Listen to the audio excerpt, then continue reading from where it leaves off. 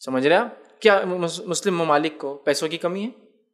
اگر وہ ہاں کہیں گے تو اس سے بڑی شرناک بات کوئی نہیں کہہ سکتا۔ اللہ نے اتنا دے رکھا ہے۔ آپ کو معلوم اتنا نکلتا ہے، اتنا نکلتا ہے گلف ممالک کے اندر صرف ایک معدنیات۔ اللہ نے اتنے ریسورسز دیے ابھی تو ہم سیکنڈ فیز کی طرف جا رہے بھی نہیں، صرف ایک ریسورسز پلیٹینم اور گولڈ کے ایسے حالات ہیں مسلم ممالک میں کہ پہاڑ کے پہاڑ ہے ابھی پیٹرول ختم ہوں گا تو نکالیں گے اس کو نیکسٹ فیز میں ہے وہ ابھی لگے ہوئے۔ معلوم آپ کو؟ سوڈان جو ملک ہے، سوڈان کے پیچھے امریکہ اور پورے دنیا کے پڑھنے کی وجہ یہ کہ سوڈان کے اندر کچھ علاقے ایسے ہیں کہ سونے کے پہاڑ ہیں، ریفائن بھی نہیں کرنا ہے، توڑ توڑ کے صرف نکالنا ہے زمین میں سے۔ یہ حالت ہے معدنیات کی زمین کے نیچے۔ صرف توڑ کے نکالنا ہے۔ ابھی سونے کو کتنے ٹن مٹی میں کچھ گرام سونا نکلتا ہے، پہاڑ ہے، صرف توڑ کر نکالنا ہے۔ اللہ نے ایسی نعمتیں مسلمانوں کے زمین کے نیچے ان کی توحید کی برکت سر اعمال سے دی تھی۔ چھوڑ دیا تو پھر آج کنٹرول بھی نہیں کر سکتے۔ ایسے گیس کے مادے ہیں کہ سو سال چل سکتے گیس نکالنا شروع کریں گے آپ سو سال گیسز نکلیں گے۔ کتنے چھوٹے چھوٹے ملک ہیں، عمان اور قطر سو سال گیس نکال سکتے ہیں اپنی زمین کے نیچے سے، جتنا علاقہ ہے اسی میں سو سال کا ذخیرہ ہے ان کے۔ اللہ نے ذخائر رکھ دیا ہے نا؟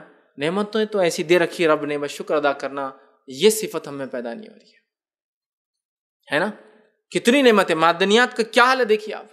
لیکن آج وہ ہم پہ کنٹرول کرتے اور معدنیات کا یہ حال ہے کہ ایک امریکن کے مطابق، جتنا امریکن کارپوریٹ، امریکہ میں جتنی دنیا ہے، جو جو کماتے ہیں، جو کچھ کرتے ہیں، جتنا امریکن کارپوریٹ کی آج ٹوٹل نیٹ ویلیو ہے مائکروسافٹ اور کیا کیا آپ سب ڈال، ڈالتے جائیے اس میں، جو جو امریکن ہیں، آپ کا نوکیا تھا، اس کے علاوہ آپ کا پیپسی ہے، اس کے علاوہ آپ کا کوک ہے، اور اس کا جتنا ہے جتنا کارپوریٹ نیٹ ہے، وہ ایک طرف وقت دی جائے تو اس کے ایک انالیسس کے حساب سے صرف دو مہینے مسلمان اپنے پیروں کے نیچے سے اتنا معدنیات نکال سکتے ہیں صرف دو مہینے کے اندر۔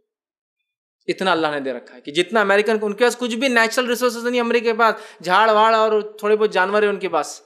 نیچرل ریسورس نہیں ہے اللہ نے سارے ذخیرے مسلمانوں کے پاس رکھے ہیں۔ کہیں سے بھی شروع کر دی مسلم ملک۔ کیا؟ دیکھنے کو اوپر کچھ نہیں تو زمین کے نیچے سمندر رکھ دی ہے۔ تیل کے اور گیس کے اور معدنیات کے اور سونے کے اور چاندی کے۔ جب زمین کے نیچے نہیں تو ایسی ایسی چیزیں اوپر اگاتا ہے جن کی قیمتیں آپ سنیں گے مارکیٹ میں تو مشکل ہو جائیں گی پانچ سو روپے کلو کا بادام۔